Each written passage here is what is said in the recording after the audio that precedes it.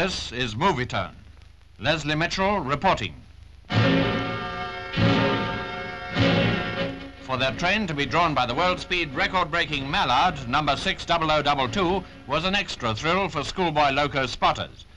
Nearly a thousand of them went aboard at King's Cross for the trip to Doncaster to have a look at the construction and repair sheds there.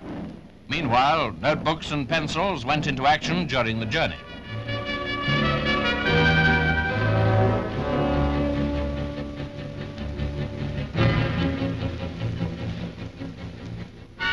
Spotting engines is one thing, and a very popular pastime it is.